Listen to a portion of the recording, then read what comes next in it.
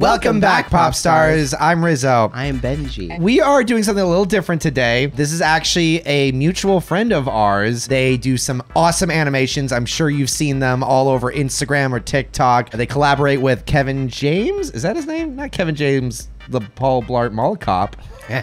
yeah, Kevin James Thornton. You know, the guy who says it was the 90s. 90s. we are hoping to eventually collaborate with this animator because, again, their work is hilarious. So funny. So if you've So seen it before, welcome. We're watching this. If not, then you're introduced to some new stuff. We always laugh at their work, so I'm just excited to watch them all in this 18 minutes. all glory. condensed, yeah. This is like a no scroll TikTok. you ready? yeah, three, two, one. Engage.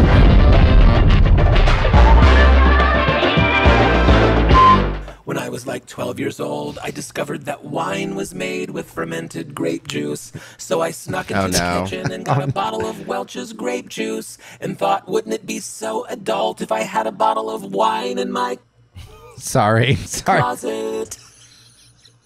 And I checked on it. His laugh is insane. If it had turned into wine yet, and then eventually just forgot about it. And then, Oh, like no. a year Oh, my later, God. I rediscovered it and thought, "Oh my God, The there's a bottle Jesus of wine face is like, closet." I've been here for 60 years. Oh, no. That was the moment. So I opened it up and it smelled disgusting. And I was like, Are you ready to be an adult or not? Oh, no. The ball himself? my lips. And uh. this like disc of Oh. mold slid my. And I thought, I guess I'm not ready to be an adult. When I was like eight or nine. Well, years I had never seen my that one grandpa before. Took me to a store, and behind the counter there was a display of toys. And Oh, my ah, grandpa said, one. "Pick out one of those toys." And I said, Toys. I'll have that Wonder Woman. Wonder And the woman behind the counter and looked at me and said, That "That toy is for little girls." Fuck and my grandpa looked at me and said, "Is that the toy you want?" And I said, "Yes, Grandpa. Give me that Wonder Woman doll." Give me that Wonder And Woman He doll. bought the doll for me, and the woman shot me a dirty look. And the moral of the story, I think we can all agree, is that Grandpa's Grandpa made me gay. At the seventh grade dance, I remember there was this girl named Tara, and Yes. Tara had really developed like way earlier than the other Like girls. Sailor and at the dance, they played that Bon transformation. Jovi song, "Living on a Prayer," and Tara started dancing around, and she was like, "I love this song," and uh, she was really bouncing around, and all of the boys at the dance were like, "Wow!" And so was I, but from my perspective, it was because like her hair looked really amazing. And I mean, her dance yeah. moves were almost Wow. like choreographed to the Bon Jovi song, and I went right up to Tara and I said, "Tara, you look amazing." Amazing. And all the guys were like, "Wow, Kevin is really bold," and Tara was like, "Thank you, Kevin." With the little starry eyes. So right after college, I realized I needed to go to another school to learn how to actually make money. And everyone was like, "You make so much money doing hair." Oh, I I've thought, seen "Oh this God, I one." make so much money doing, Doing hair. hair. So I went to beauty school, but two weeks in, I totally regretted it. I hated it so much. We just kept looking at pictures of That coffee's mu- lice. And I remembered humans are disgusting. So I went to the office and said, Could I please withdraw and get a refund? And she said, That's against policy. Do you have a valid reason? And I knew I was going to have to go big, or she wasn't going to let me out of it. So I said, I just got a record deal. And what I wasn't expecting is she screamed at the top of her lungs, then burst out of the office and announced it to the whole school. And now I'm signing autographs. Oh my god. But I didn't The care little 'cause I got my money back. When I was like I don't 10 care 'cause I got my old, money there was a back. box of maxi pads in the bathroom, and I said, "Mom, what are these?" And she said, "You put them in your underwear." So the next morning before school, I put one in my underwear, adhesive side up. Oh, I went to no. school, and it was really Oh no. Oh and I went to the no. bathroom to try to peel it off, and that adhesive is really strong. And I was in there a long time, and then the teacher came in and said, "Kevin, are you okay?" and I said, "Yes."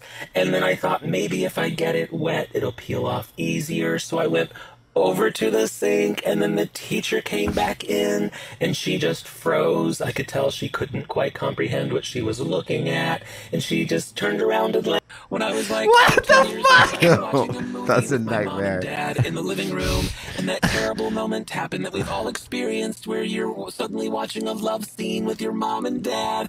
Actually, never. I don't. I and the can't think of anything like the that. and we're all super I like how the popcorn bowl But then I is animated. Like, I don't want my can't. Is it part of the parents to think I'm family? gay. Yes. So I tried to say she's pretty, but my voice didn't pretty. work, and so I just sort of like in a creepy whisper was like, "She's pretty." Ew.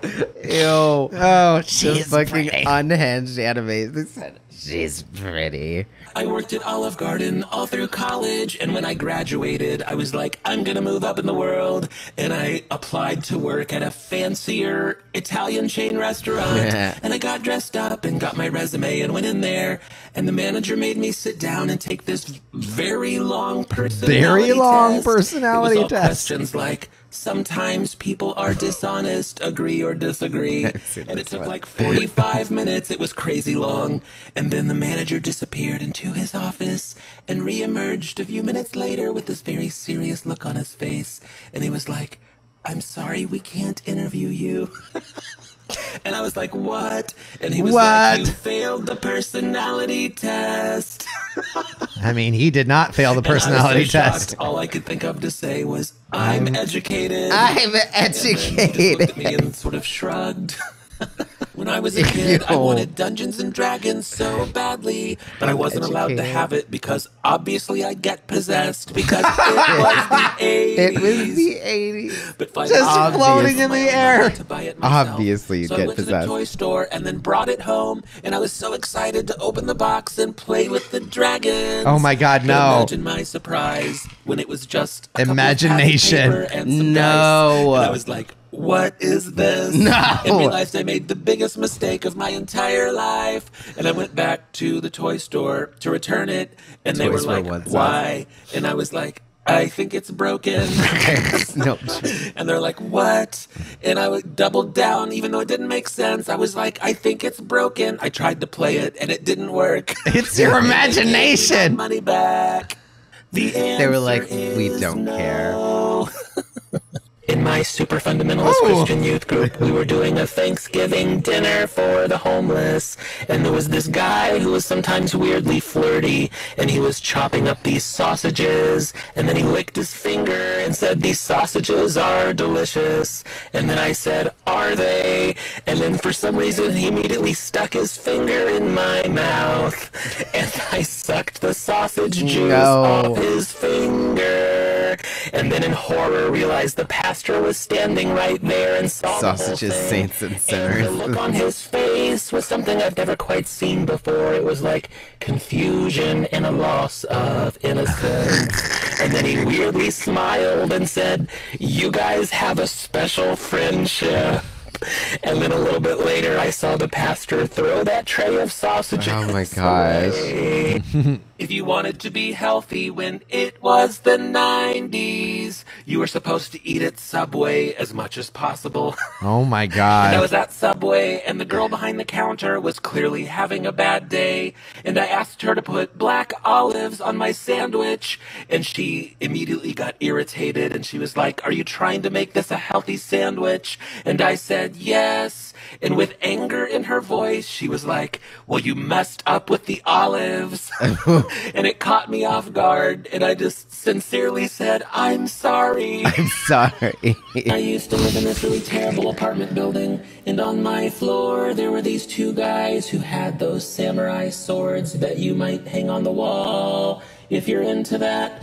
and one day they got into a pretend samurai sword fight in the hallway. Oh no. Sounds The fun. samurai sword fight turned real, and one guy got stabbed and had to go to the hospital, and he ended up being fine. But his blood was all over the hallway, and the landlord didn't clean it up. And I thought, isn't this really unsanitary? this little triangle's, like, horrified. It was really hot that summer, and the hallway started to smell like that guy's decaying body.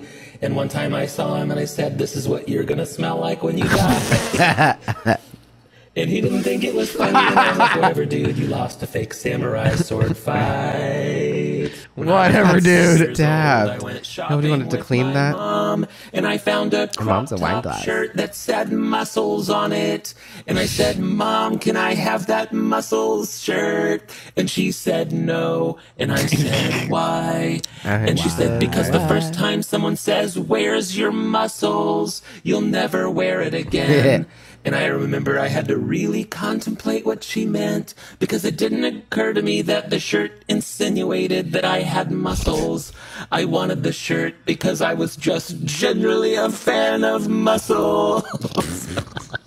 When I was in high school, I had a friend with really long hair, and he wanted to turn it into a mohawk. So he shaved the sides of his head Oh, and no. then put a ton of Aussie sprunch spray in the top part, but it wouldn't stand up, and it was this gross flap of hair just hanging on the top of his Oh. head. And he started to get upset, and then I said, I've heard you can put an egg in it to make it stand up. So he scrambled an egg and put it in his hair. and now Scrambled it's even it? more disgusting. But then I thought, maybe we should iron it. So he laid his head like on my mom's ironing Oh, and he's board, gonna have cooked and we egg in his ironed hair. and the egg immediately fried. What? And the whole house smelled like burned egg, and he had an omelet mohawk. when I was a kid, I was obsessed with What the TV fuck? dinners. Every time we were at the store, I'd ask my mom to buy TV dinners. Those little she would never buy Casey. them. Oh, God, I hated the those. Penguin ones. I hated That them. I was obsessed. A lizard, and my parents strangely bought the lizard with very little resistance. then we had to go out of town for a couple days. Oh, no. And when we got back home, the lizard was gone. No. And we couldn't figure out what happened to my lizard. find it dead somewhere. And then we found the lizard's tail in the cat's water bowl. And then uh, that night, my mom bought TV dinners. When I was in seventh grade, I She was like, "Yeah, my that parents lizard's to buy me parachute pants. And that Friday night, we were going roller skating at United Skates of America. And before we left, I put some Sun-In in my hair, and it turned my hair like the color of a tiger. um, but I felt like I looked really cool because I had some sun. Suddenly he's got, like, She- some parachute she- pants, Sun-In, and some parachute pants. And uh, we met at the mall, and now I'm a monster. So I got my ear pierced at Claire's, and then we got to the rink, and they did the all guys skate, and they played a Whitesnake song, and I skated really fast, and oh, I Oh, felt no. like I looked really cool with my Sun-In, and some parachute pants, Sun-In, And some parachute pants. And And them cheeked up for a. Thursday. And I knew I was going to get in trouble later, but I didn't care because I felt alive. a period of time where every single person in the world had an acoustic guitar when it was the 90s. And there'd always be one person who would find the guitar at a party and they just pick it up and fully start playing a song like, I don't want the world to see me.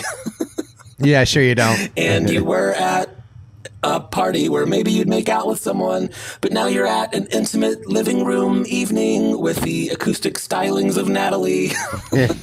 When I was in college in the 90s, everything was so dramatic. Like you'd call your friend at 2 in the morning and say, I think I'm going to change my major. And your friend would be like, Oh my god, we have to meet and talk about it right now. Right now. the family kitchen and drink coffee and smoke cigarettes all night. And I know that's disgusting, but you have to remember It was the 90s. and then you'd be like, I don't think a musical theater major is very practical, and my real passion is pottery. And your friend would be like, Well, you have to follow your passions. Then we'd order a basket of seasoned fries and pay for it with our financial aid. And I didn't realize it at the time, but I'd be paying for those seasoned fries for the rest of my life. And the moral of the story, kids, is don't go to college. For me, gym class was torture, and why do we sleeping teach with a kids teddy at that bear age in that college? nothing matters more than sports?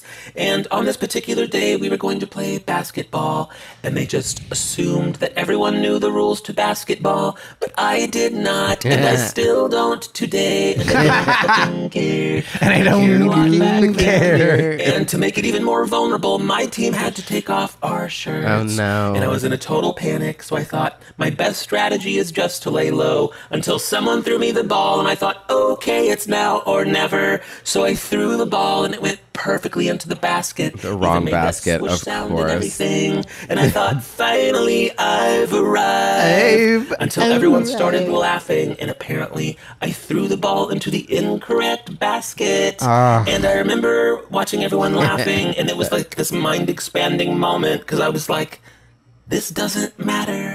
This 10 years doesn't matter. and I don't fucking dishes at a care. Fucking care. And there was a manager named Pam, and she was terrible, and no one could last longer than a couple of weeks. witch. And one time it was really busy, and the cook just walked out, and everyone started freaking out. But I just walked up to the grill and started cooking, and it was like a scene in a movie, like the lowly peasant dishwasher saves the day. And Pam started putting me on the schedule as a cook. And No after way. a couple of months, this is totally true. I was like the main cook at the crappy diner because everyone had just quit. But Pam eventually became a monster again, and I'd had enough. And I was about to walk out, and Pam was like, Kevin, where are you going?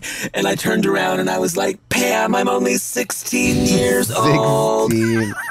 16. I was like 10 years old. We were watching TV and they had on male strippers and they started dancing around and I got really excited and I said, Mom, are they about to take off their pants? They Wow. looked a little concerned. And then the next morning, I recounted the entire thing in great detail to my grandma. And she said, Well, I don't like that sort of thing. And I said, I do. I love it, Grandma. I was like nine years old. I love it, Grandma. I thought the word hmm. tatas meant toes. Oh, this is like probably So the first one I ever saw. ever paint your tatas? And she was like, "What?" And I was like, "Do you ever paint your tatas?" Your and she was like, "People don't do that." And I'm like, "Yes, they do. Mom does it all the time." And I was like, "Anyway, if you ever decide to paint your tatas, I think you should paint them green." A long time ago, I went on a date with this guy, and I'm very prone to social anxiety, but on a first date, I'll just be fully awkward. Like, why am I talking weird and I don't know how to move my arms? and uh, we met at this place, and we were This waiting for our table, and right then a roach ran across the floor. And I don't know why I did this. I swear this is not something I would normally do. Uh-huh. But I knelt down and gently picked up the roach and opened the door and set it free into the wild. And for a brief moment, I thought, he's going to think I'm like a cool nature guy. It's a And then I turn around and I see his face and he's sort of pale Horrified. and horrified. And so I just freeze. And then he's like, Do you need to go wash your hands? And now I'm like, Great. He thinks I'm not going to wash my hands. And I don't know. Maybe I wasn't. The whole thing was a blur. In college, don't I was in a relationship I with this guy named Adam. And one day where I was working, his ex boyfriend walked in and said, You can have Adam. And I was like, What? You guys broke up like two years ago. And he said, No, we didn't. And then we put our stories together and this Oh, web no. of deception unfolded. He was in a relationship with both of us for like two years, and neither one of us knew. So we sent Adam's pager a message because it was the 90s. And we went to his house to confront him, and when we got there, he was really drunk, and he started crying, and he ran out the front door. So both of us ran after him, and now we're all three running down the sidewalk, crying, screaming Adam's name. And at the time, that was really traumatic, but looking back, that story is really stupid. All of them running and crying. Oh my god. Oh my gosh. Damn, like, obviously, is- the stories are already great, but then adding the animation I on don't top. fucking care. It's like. Oh my god. Oh. Uh, yeah, so show them some love. Go follow Java Doodles on YouTube, Instagram, TikTok. Let them know, hey, who sent you the pink Pop Pink Popcast sent Yeah. ya. Go spam Java Doodles and say Pink Popcast sent us to say fucking awesome, awesome stuff Good here. job. Do you have anything else to say, Benji? It was the 90s. No. Until next time, I'm Rizzo. I'm Benji. Sweet dreams, pop stars. Keep watching. Keep watching.